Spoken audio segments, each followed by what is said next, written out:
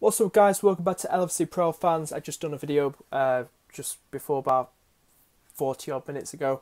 Uh, go check that out as well. Uh, it's my Derby v Liverpool uh, pre-match thoughts. Uh, but before you watch that, uh, watch this video, um, just want to quickly say to you guys that I, instead of waiting to get to like 70 subscribers, I'm gonna actually be doing my Q and A uh, video in my next video, uh, which could be before the Hull game, and uh, so um, if you have any questions at all, uh, Liverpool related, well, do yeah, do Liverpool related, do, doing football related, something like that. Um, you know, uh, any thoughts on it? You know, ask me questions if you want about your team if you're not a Liverpool fan, anything like that, something appropriate, nothing, you know, maybe just, you know I mean. Um,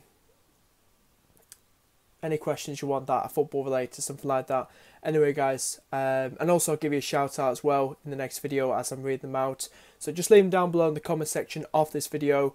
Um, and I shall see you guys in the next video, which will be uh, before the Hull game, and that's that will be my Q and A video. Anyway, guys, peace.